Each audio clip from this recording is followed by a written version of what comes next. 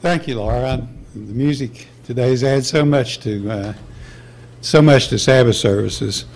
I'd like to thank Thomas and uh, Donna today for giving us a phone call and telling us Route 52 was closed. There wasn't any signs anywhere telling us that. We had to take a detour to get here, but everything's good. It's a beautiful day. Isn't that beautiful out today? You know, today at today at sunset, is the spring holy days comes to an end, probably for most of us, maybe we're looking forward to having that hamburger again. Or maybe it's a chocolate covered donut. We stopped at Sheetz and they had all these donuts there. I don't particularly like donuts, but they, even they look good this morning. or maybe just having that uh, having that slice of bread again. You know, the kind of bread that doesn't crumble if you try to spread butter on it. But you know, maybe for some of us, we have mixed emotions. After doing all that work getting the leavening out of our homes, you know, we hate, just hate to bring it back in again. Maybe some of us maybe feel a little guilty about bringing leavening back into our homes. Maybe we think about like bringing sin back into our, back into our homes, our lives. Today, I'd like to go through five lessons we can learn from the spring holy days. And hopefully it'll answer a question maybe about feeling guilty about bringing the leavening back in. I realize there's many more lessons we can learn from the spring holy days than just five, but today I'd like to focus in on these five. Number one, number one, we have to get physical about the spiritual. We have to get physical about the spiritual. You know, in order for us to understand the spiritual aspects, we need to understand it in physical terms. You know, since we're all physical beings living in a physical world, often we need to relate spiritual matters in physical terms. And you know, that is the reason God wants us to enact these physical things like unleavened bread, you know, the wine, the foot washing, to help us to understand the spiritual. There's a much uh, misaligned scripture in Colossians chapter 2 verse 16. In Colossians 2:16 that tells us that the holy days are, are a shadow of the spiritual. Let's turn to Colossians chapter 2 verse 16.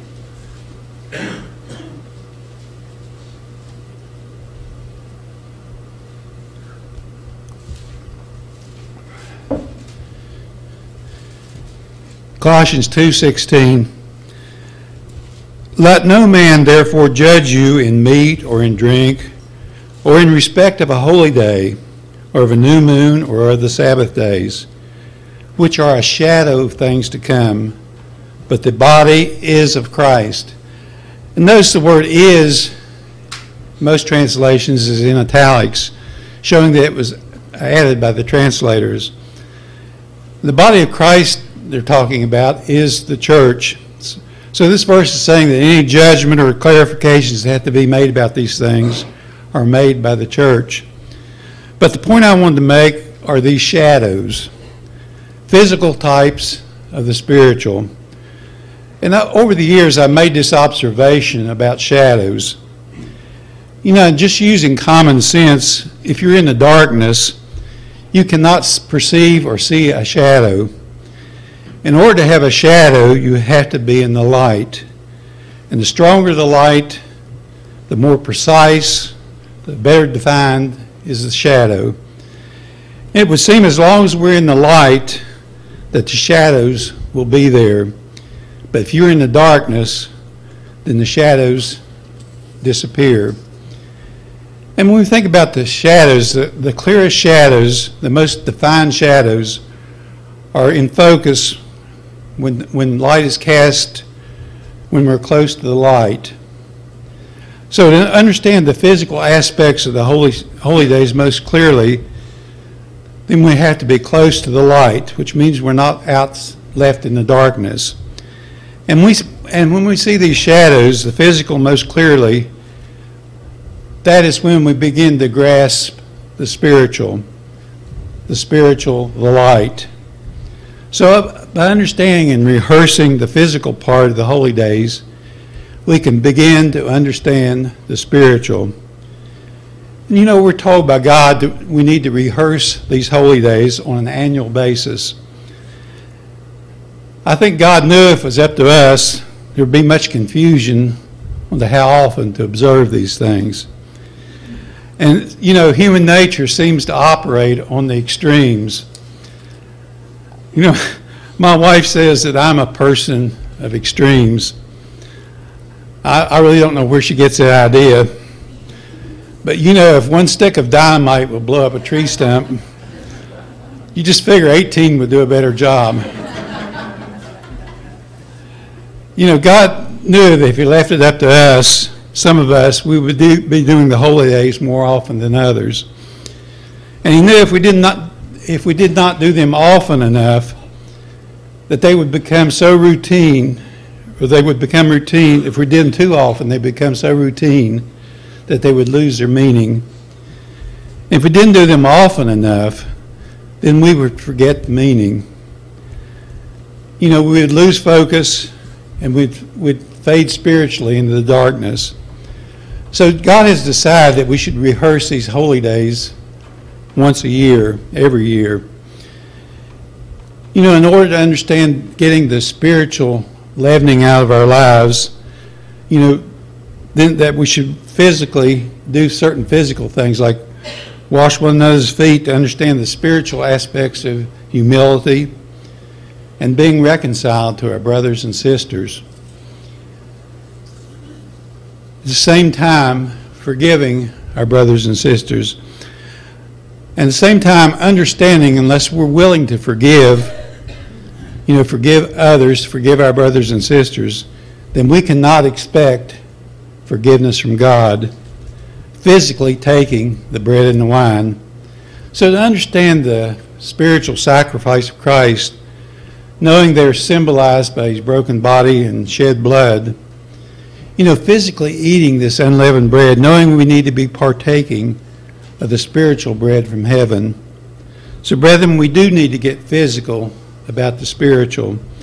In order to understand the spiritual, we have to focus in on the, on the physical. Number two, saying goodbye to leavening is hard and it takes time. Saying goodbye to leavening is hard and it takes time. You know, even getting the physical leavening out of our houses, out of our homes, is not an easy task, and it does take time.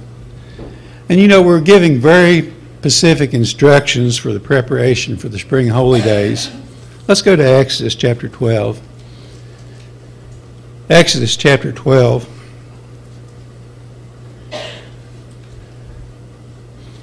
In Exodus chapter 12, verse 15,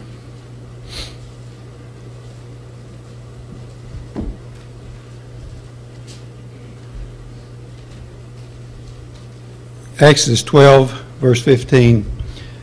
Seven days you shall eat unleavened bread. On the first day you shall remove leaven from your houses. For whoever eats leavened bread from the first day until the seventh day, that person shall be cut off from Israel. And we know from this instruction and other instructions that were given that the first day of un, by the first day of unleavened bread, all leavening was supposed to be removed from our homes. And this process of deleavening was very, very much a property symbolic of the spiritual meaning of these instructions.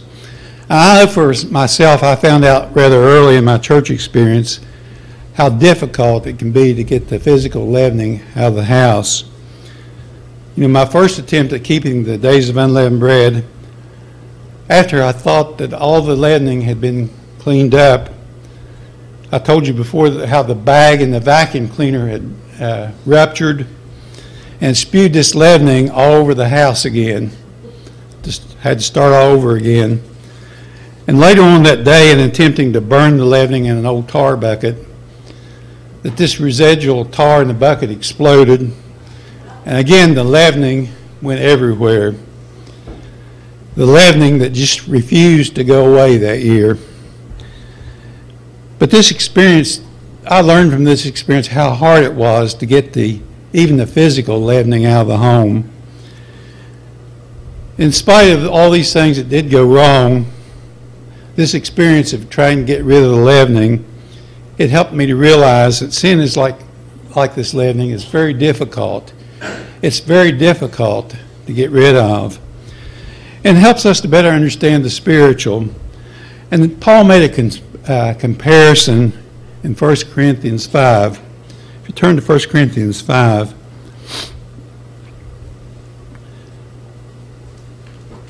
here Paul compares leavening with sin. He brings this out, this analogy out in 1 Corinthians 5. 1 Corinthians 5, verse 7.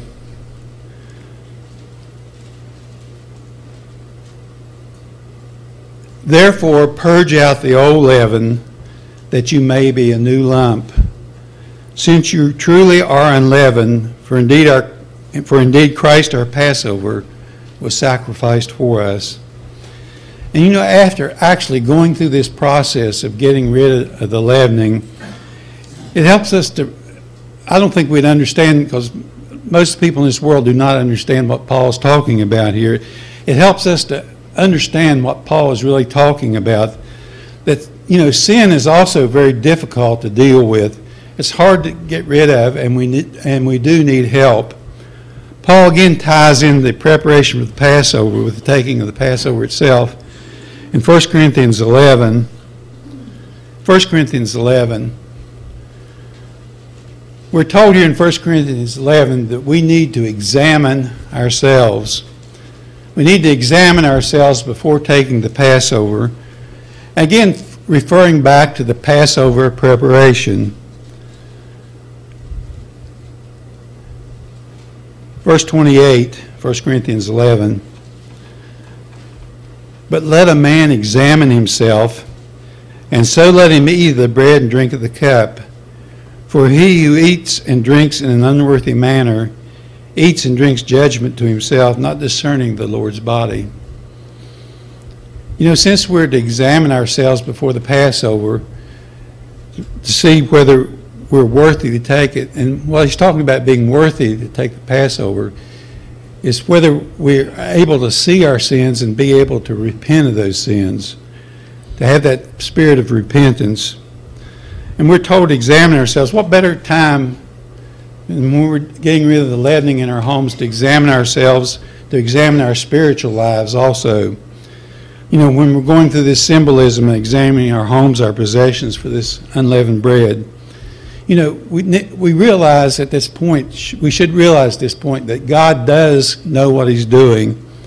That this is really an effective time to do this examination in our lives, looking for this leavening.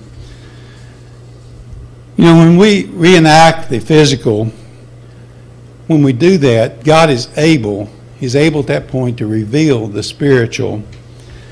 And the better, the more in focus we see the shadow, the stronger, the clearer the light. And one of the most profound spiritual illustrations for me was one year when I was deleavening the car. I was down. I was down cleaning the carpet, cleaning the carpet in the car. I was kind of laying down in the in the front seat with my head almost down on the carpet, right down there at eye level. And as I vacuumed, I could see all these little particles jumping up out of the out of the carpet. As this vacuum cleaner went across the carpet, and I don't know if these particles were leavening or not, but but I could see them as just little microscopic pieces of leavening down there, these little breadcrumbs. And every time, every time I'd run that vacuum cleaner over the carpet, more of these particles would appear. No matter how many times I ran that vacuum cleaner across that carpet, they just kept appearing, more particles. It made me realize the closer you look, the more you're going to see. And I realized, realized it would take a miracle it would take a miracle to get rid of every one of those little particles down to the microscopic level. And since then, I've read that no matter where we are, we've got these yeast particles all floating around in the air that we're never going to get rid of all of them. We cannot get rid of all those by ourselves. You know, by following God's instruction book, doing this physical act of trying to remove the leavening, it really does show us, it does take a miracle to completely rid of us, rid us of sin, the leavening in our lives. Spiritually, it takes a miracle for us to clean out the sin. It is not something that we can do entirely by ourselves. Even though it does take a miracle, God expects us to do our part. It makes us realize that we have a part to play. We have to be a doer to examine our, uh, our homes physically, at the same time, examine our lives spiritually. Examine them in the light of God's Word. It reminds me of a, a scripture in the book of James. Let's look over in James chapter 1. James chapter 1. And here James talks about the importance, the importance of being a doer. James chapter 1 verse 23. For if anyone is a hearer of the word, and not a doer, he is like a man observing his natural face in a mirror. For he observes himself, goes away, and immediately forgets what kind of man he was. But he who looks into the perfect law of liberty and continues in it, and is not a forgetful hearer, but a doer of the work, this one will be blessed in what he does. You know, brethren, as we examine ourselves in that mirror of God's Word, we're usually able to maybe to spot some of the, the flaws and blemishes. But just like trying to get rid of every last bit of leavening in our homes, there's no way we can remove those spots and blemishes. Brethren, it takes a miracle. It takes a miracle to do that.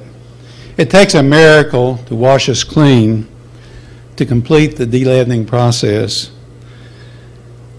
And I think we would have to admit, from the physical example, trying to move the leavening, remove the leavening from our homes, that the spiritual idea of getting leavening out of our out of our lives, the sin out of our lives, is also difficult and it does take time.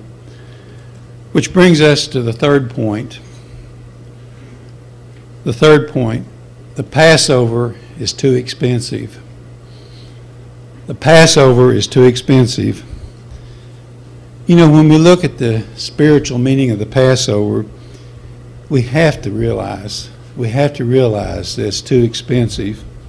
None of us, none of us can afford the price in order for us to partake of that, it has we had to, it has to be a gift. You know, there are quite a few churches that observe part of the Passover. They don't fool with the Passover preparation, and the only part they really take part in is uh, usually the bread and the wine. And many of those who observe the Passover begin with the bread and the wine. But they've already passed over the first step, the preparation. And for those who leave out the first part, they really don't have a clue because they've ignored the instruction book. Let's go to Leviticus 23. In Leviticus 23, The Bible tells us when we should actually observe this. Leviticus 23. And it also tells us who it belongs to. Leviticus 23, verse 4. These are the feasts of the Lord, holy convocations, which you shall proclaim at their appointed times. Notice who appoints these times, not us. On the 14th day of the first month at twilight is the Lord's Passover. And when we look at the first step in the, in the Passover, in the actual Passover ceremonies, it is a step that most leave out. The first step of the Passover ceremony, according to God's instruction book, is something that people feel that's maybe strange or outdated, obsolete. And that is the foot washing. And you know, as we wash that person's feet, we're supposed to think of the symbolism of what we're doing. You know, just as we did in the Passover preparation, you know, when we examine our homes for leavening, we examine our lives for sin. Today, just for a few minutes, I would like to, I'd like to imagine, for you to imagine yourself living back in the, in the first century, a time when Rome ruled the world. And you'd be living in a society that would seem very foreign to us today for some of the customs of that time. And I'd like for you to imagine yourself being invited to a dinner party at one of the neighbors' homes. Maybe a neighbor living about a quarter of a mile away. And after being invited there, after bathing and getting dressed, you know, we put on our shoes.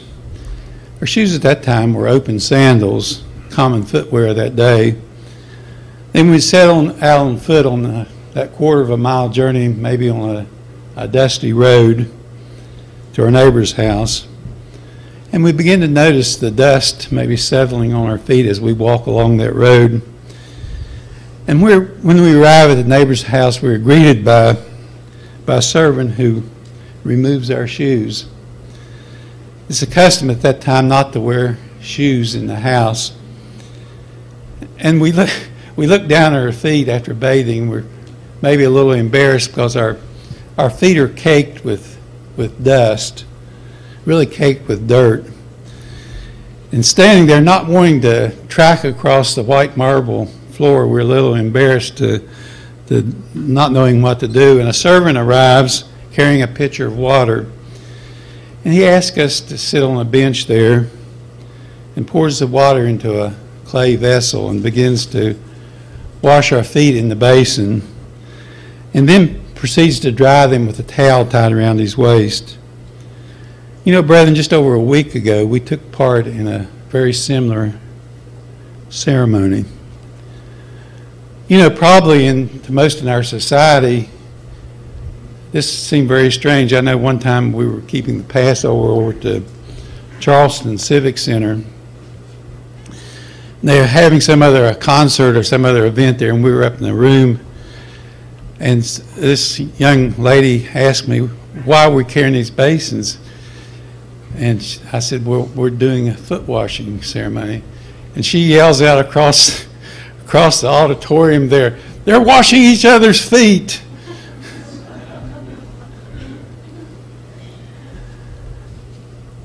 But to her, it was very strange. To most in our society, it'd be very strange.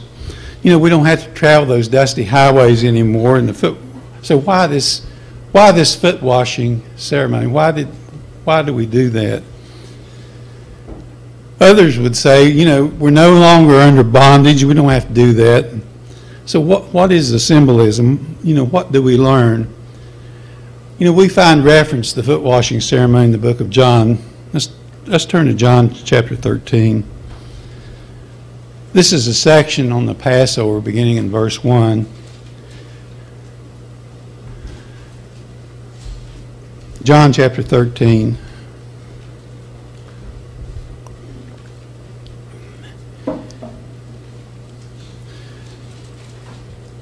John chapter 13, verse 1. Now, before the feast of the Passover, when Jesus knew that his hour was come, verse 4, he rose from supper and laid aside his garments. Another translation said he laid aside his robe. It'd be equivalent today of maybe taking off your suit jacket. After he poured water into a basin and began to wash the disciples' feet and to wipe them with the towel wherewith he was girded. At this time, nothing unusual about the washing the feet. Verse 6 Then he came to Simon Peter, and Peter said unto him, Lord, do you wash my feet? Jesus answered and said unto him, What I do you, you know not now, but you shall know hereafter. And Peter said unto him, You shall never wash my feet. You know, in order to understand Peter's reaction to Christ wanting to wash his feet, this is something we need to understand about the common practice of foot washing. This actual job was given and it was considered a very menial, very menial task. It was considered the lowest, most degrading job one could have. Matter of fact, most people could not even hire someone to do this job. It was usually left up to a slave because they had to do what they were told. A slave not doing it by choice, but because he had to. So we begin to understand Peter's reaction to Christ wanting to wash his feet. And you know, this is just as foreign today, foreign to our human nature, someone in the position of Lord and Master serving others. Times haven't changed. Here was Christ taking the part of the lowest servant, a slave doing the most degrading job in that society. Continuing verse 8, Jesus answered him, I wash you not, not, you have no part with me. You know, spiritually, the symbolism was, unless we accept the sacrifice of Jesus Christ, you know, being sim- symbolically cleaned by the baptism, we have no part. We have no part with Christ. And Peter went on to say, Lord, not my feet only, but also my hands and my head. And Jesus said to him that he, he that is washed need not, not saved to wash his feet, but is clean every whit.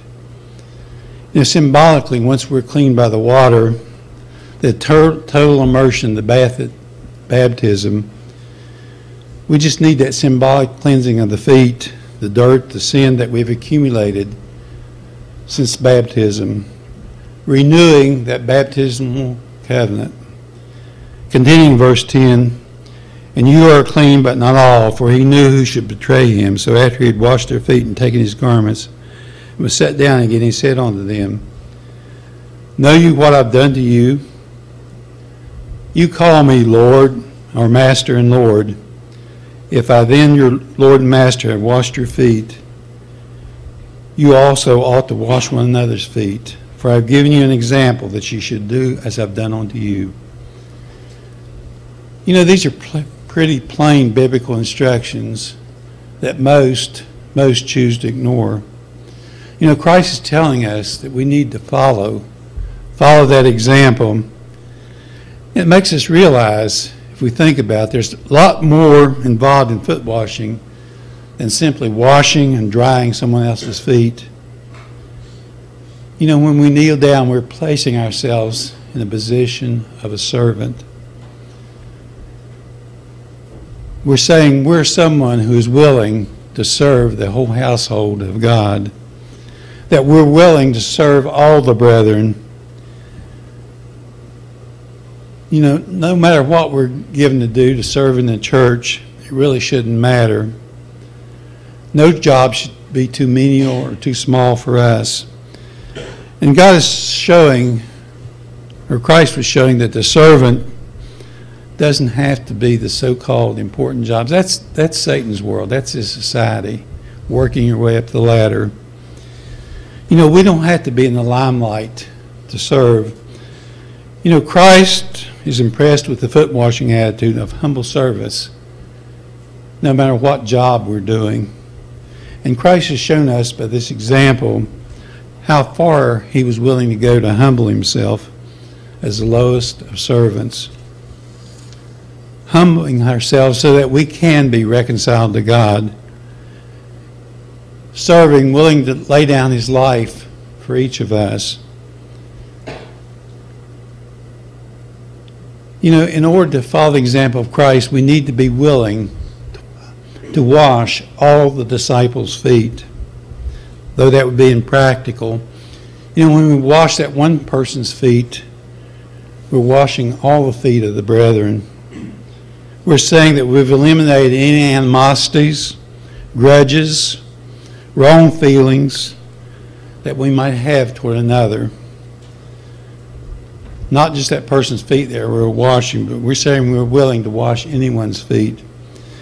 You know, by the following example of Christ, we're saying we need to be reconciled we need to be reconciled to our brothers and sisters as Jesus Christ has reconciled us to the Heavenly Father. You know, we can see from the foot washing the foot washing was vital before we moved to the next step in the Passover, moving on to the bread and the wine. In order to be reconciled with God, we have to first be willing to be reconciled to our brothers and sisters, be reconciled with our neighbor. You know, God tells us in order to have forgiveness from Him, we must, we must forgive others. Let's look at Matthew chapter 6.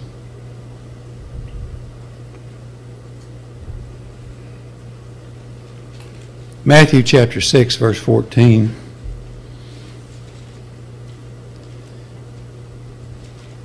Matthew 6, 14. For if you forgive men their trespasses, your heavenly Father will also forgive you. But if you do not forgive men their trespasses, neither will your Father forgive yours, your trespasses. Brethren, these are very these are very strong words. You know, if we're unwilling to forgive others, then he's telling us we simply cannot be forgiven. And from this, I hope we can see how really important the foot washing ceremony really is. It has to be done before we can proceed to the next two steps the bread and the wine. You know, none of us were there to witness the Roman soldiers when they whipped and beat on Jesus Christ.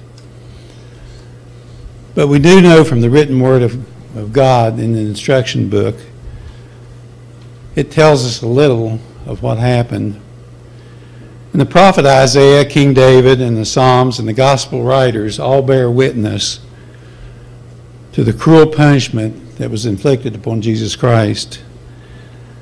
You know, from these biblical accounts and also from uh, the Roman accounts of such punishments, we can understand as much as human beings can the extent of suffering our Savior went through. And you know, when the authorities led Jesus Christ before the high priest the, in front of the scribes and the elders, you know, he was falsely accused of blasphemy. Brethren, the religious leaders spit in his face, slapped him, and beat him with, with their fist. And they were there to make fun of him. Then they turned to Jesus Christ over to the Romans for scourging. And they called this scourging the this type of punishment the halfway death because it stopped short, just stopped short of killing the victim. And the unleavened bread Jesus Christ gave his followers that night, he said represented his body. And the apostle uh, Paul or Peter later recounted what that meant. Writing that we as Christians should follow in the steps of our Savior. And he, he said, Who bore our sins in his body on the tree that we, having died to sins, might live for righteousness, righteousness by whose stripes we are healed.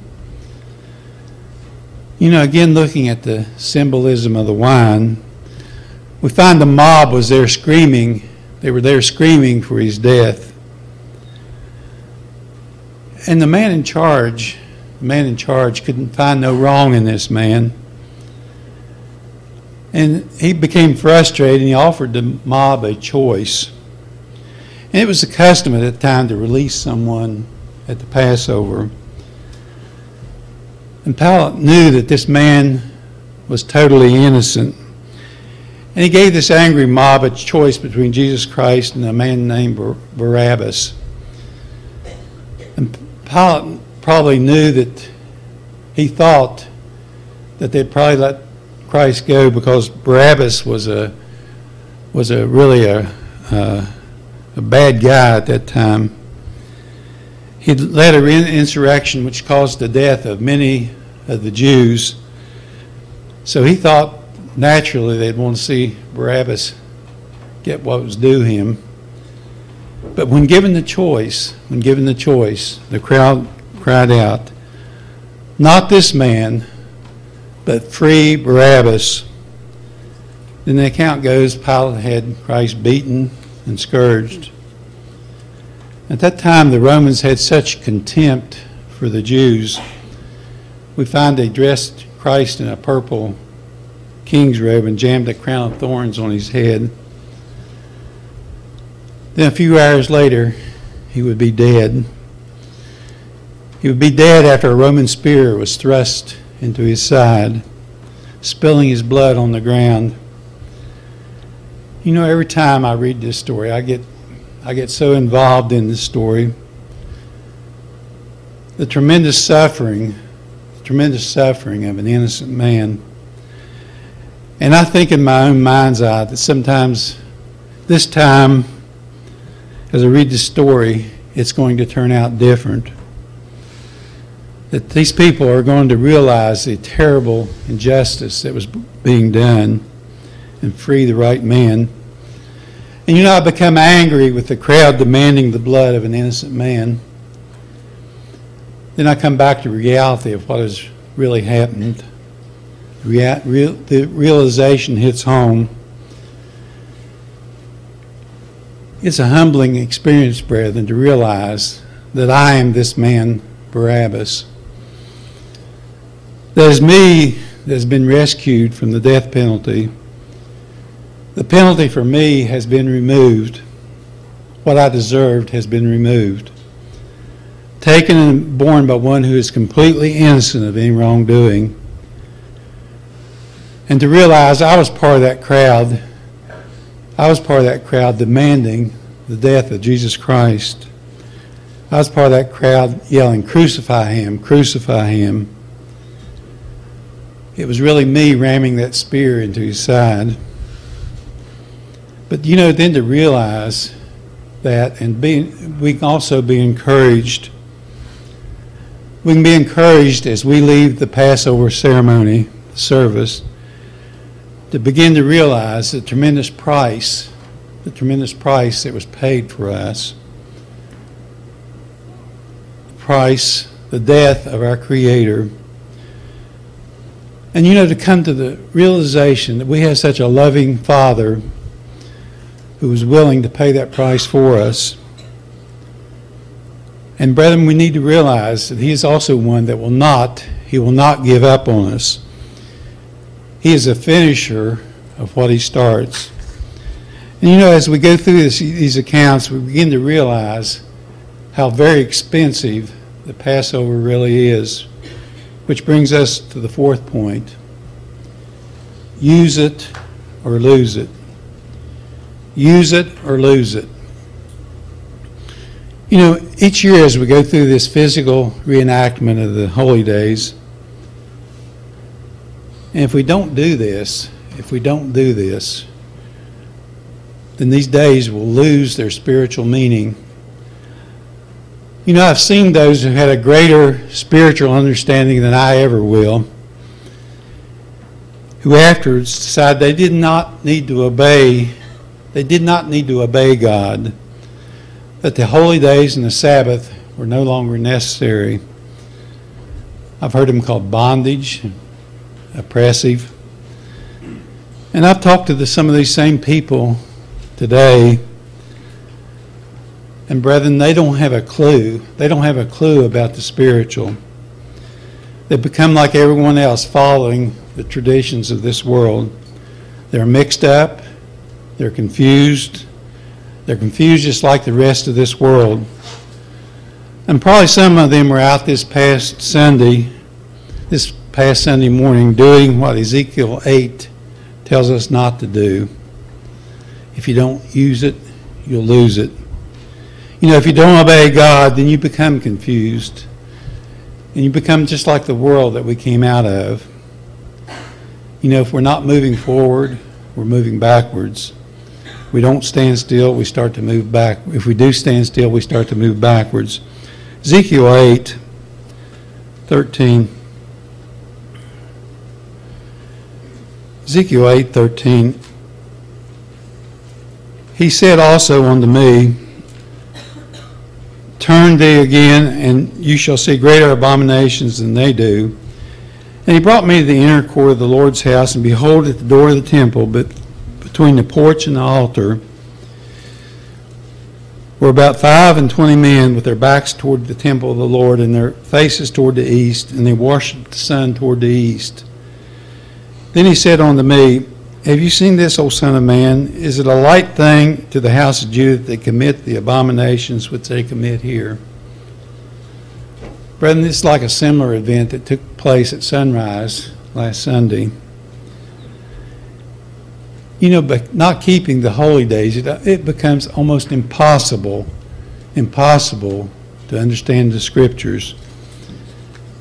You know, if people had an understanding of the holy days, you know, there wouldn't be all this confusion about the events of Christ's death and his resurrection. You may have heard about days like Maundy, Maundy Thursday, Good Friday, Easter Sunday, bunny rabbits, colored eggs. You know, days and events that are not even mentioned in the Bible. I'd, I'd never heard this Maundy Thursday until recently, and I thought my sister was saying Monday, Monday, Thursday. I asked her what that was, and she said it was Maundy, not Monday. It was the Last Supper, and since Christ died on Friday, it's celebrated on Thursday. Thursday night before he died. And I never did find out why Friday was called Good Friday. You know, with the understanding of the holy days, it can be seen that these Mon- Maundy Thursdays and Good Fridays and Easter Sundays, all these are just so much, when you look at it, there's just so much confusion. You know, we know from history that the year Christ died, it was on a, on a Wednesday. So on Thursday, on Tuesday night, Christ kept the Passover. As we go through the scriptures, you know, with an understanding of the holy days, we can see the time frame of these events. Let's begin in John 19:30. John chapter 19. Like I said, that year Christ kept the Passover on, on a Tuesday evening. Then Christ died on a Wednesday the daylight portion of the Passover. So on Wednesday that year in verse 30, so when Jesus had received the sour wine, he said, It's finished, and bowing his head, he gave up the Spirit. Verse 34, 31, Therefore, because it was a preparation day that the body should not remain on the cross on the Sabbath, in parentheses, for that Sabbath was a high day, the Jews asked Pilate that his legs might that their legs might be broken, they might be taken away. So the preparation day was on a Wednesday that year before the annual Sabbath, or the first day of unleavened bread. So the first holy day that year was on a, on a Thursday. You know, in verse 31, it said that that Sabbath he was murdered was a high day. It was an annual Sabbath. And, you know, people who don't understand and keep the holy days, when they see the word Sabbath, they assumed it was uh, it was a weekly Sabbath. And by, assume, by assuming that, then Saturday, the weekly Sabbath, they ignored this statement about being a high day. They don't even know what that means. They assume that Christ died on a Friday. So they assume that the Passover took place on Thursday night. We see all this confusion, one, one mistake leading to another. But the scriptures show after putting him in the tomb before sunset on Wednesday, the women rested on Thursday, the holy day. Then on Friday morning, the women returned, as we see in Luke 23. Luke 23, verse 53, or 55. 23, verse 55. And the women who had come with him from Galilee followed after, and they observed, they observed the tomb and how his body was laid. And they returned and prepared spices and fragrant oils, and they rested on the Sabbath according to the commandment. On Friday, they prepared these spices and rested on the Sabbath. And they attended and they intended to take these spices back on Sunday morning. And on Sunday morning in Luke 24 1, they got there early Sunday morning before sunrise, before the sun came up, while it's still dark. Verse 1 Now on the first day of the week, very early in the morning, Captain John states it was still dark.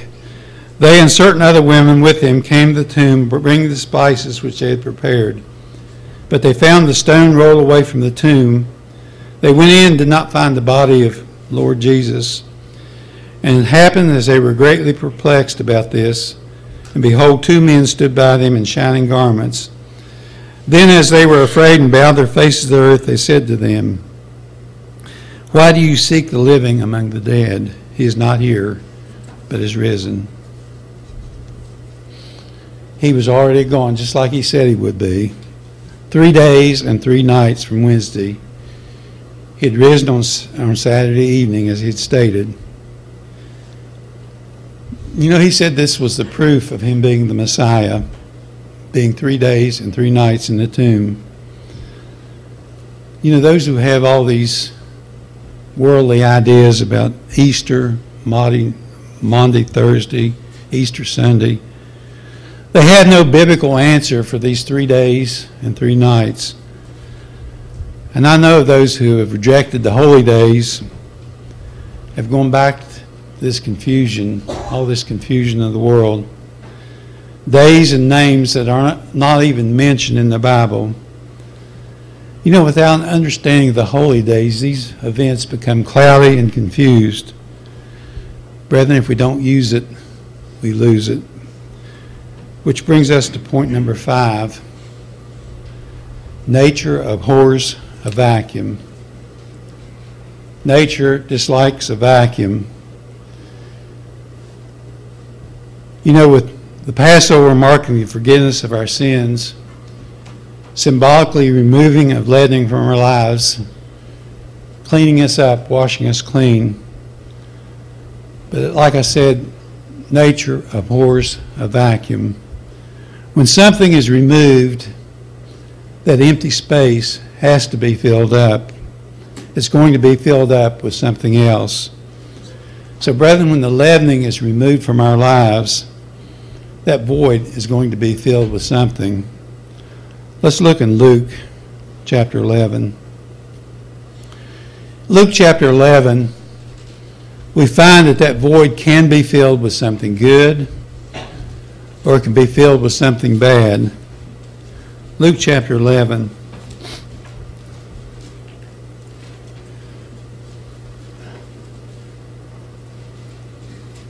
Eleven verse twenty-four. When an unclean spirit goes out of a man, he goes through dry places seeking rest. And finding none, he says, I will return to my house from which I came. And when he comes, he finds it swept, put in order, all cleaned up. Then he goes and takes with him seven other spirits more wicked than himself, and they enter and dwell there. And the last state of that man is worse than the first. Brethren, this shows us if that void, if that void is not filled with the right thing, we could be much worse off than when we started. But you know, from our knowledge of the days of unleavened bread, you know, in our homes we had to re- we replace the leavened bread. You know, we, we replace it with the unleavened, the unleavened bread. And we know in our spiritual lives that God gives us something very positive to fill that void. And if we do nothing, if we do nothing, it's going to be filled by the ruler of this world.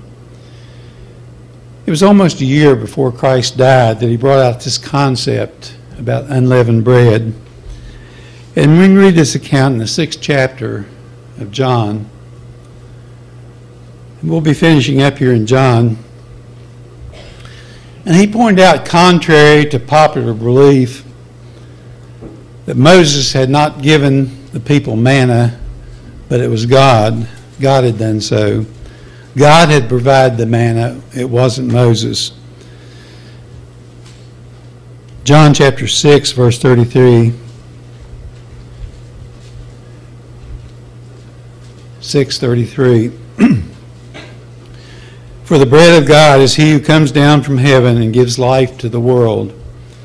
Then they said to him, Lord, give us this bread always. They were still looking, they were still looking for that physical manna, looking at their immediate needs because they were still hungry. Verse 36 But I said to you that you've seen me, and yet you do not believe. All that the Father gives me will come to me, and the one who comes to me I will by no means cast out. For I have come down from heaven, not to do my own will, but the will of him who sent me. This is the will of the Father who sent me, that all he has given me I should lose nothing, but should raise it up at the last day. And this is the will of him who sent me, that everyone who sees the Son and believes in him may have everlasting life, and I will raise him, raise him up in the last day. Brethren, what beautiful, what beautiful, encouraging words. You know, Jesus did not intend to supply physical bread through a miracle. The miracle, the miracle had already been performed. Christ, Christ was the manna. He was the unleavened bread from heaven. He supplied himself. He was the unleavened bread. It was Jesus, not some miracle he performed, which was God's miraculous sign. Verse 48 I am the bread of life. Your fathers ate the manna in the wilderness and are dead. This is the bread which comes down from heaven, that one may eat of it and not die. I am the living bread which came down from heaven. If anyone eats of this bread, he will live forever. And the bread I shall give is my flesh, which I give for the life of the world. You know, just as a physical manna gave life to the children of Israel in the wilderness, this spiritual manna, this unleavened spiritual bread, would give eternal life, what Christ was saying. And brethren, by making Christ a part of us, this eternal life would be imparted in us by ingesting the Word in our Bible study, by that communication, that contact through prayer, by drawing near by fasting we'll we'll be taking in we'll be taking in that unleavened bread, unleavened spiritual bread. Verse 57. As the living Father sent me, I live because of the Father. He feeds me, feeds on me, will live because of me. This is the bread which came down from heaven. Not as your fathers ate the manna and are dead. He who eats this bread will live forever. Brethren, we have to eat the unleavened bread to replace the leavening that was, that was removed in our lives. Spiritually, after we are deleavened, our sins are forgiven. But, brethren, we need that unleavened bread from heaven to replace the sin that was removed. You know, just as that woman who was taken in adultery, Christ told her her sins were forgiven but she was also told to go and sin no more. You know, that unleavened bread from heaven gives us that power, the power to resist sin. So we see that nature does abhor a vacuum. You know, when we take away the sin, it has to be replaced. Hopefully, it'll be replaced by the Spirit of God, Jesus Christ, living in each of us. You know, today we've seen five lessons that we can learn from the spring holy days. Number one, we have to get physical about the spiritual. Saying goodbye to leavening sin is hard and it takes time. The Passover is too expensive. Use it or lose it. Nature abhors a vacuum. Hopefully, we see the answer to the question I asked in the introduction. You know, we don't need to feel guilty about bringing leavening back into our homes. Physically, that's all it is. It is just leavening, it's not sin. But spiritually, we do not want to bring sin back into our lives. You know, this process of repentance, something that we should be doing daily, we need to be repeating that daily the process of examining ourselves in the light of God's Word, seeing ourselves, making sure that we forgive others, and then asking for forgiveness for ourselves. And then being filled with the unleavened bread from heaven, Jesus Christ. You know, brethren, it's not a one time event, it's a continual process. Brethren, I hope we see there's tremendous purpose in us going through these days, these spring holy days. You know, in the de-leavening of our homes, it helps us spiritually to see the need to examine ourselves and get rid of sin. With the foot washing, the need to be hum- to be a humble servant, forgiving others, to be united, to be reconciled with our brothers and sisters. The bread and the wine, the tremendous sacrifice that was done for each of us, the forgiving of our sins and being reconciled to God. You know, the days of unleavened bread, eating of the unleavened bread, showing us that now we have access to the true manna from heaven, the spiritually spiritual unleavened bread, the power to overcome sin. Brethren, as putting all these things together, to those who overcome, God makes a very important promise.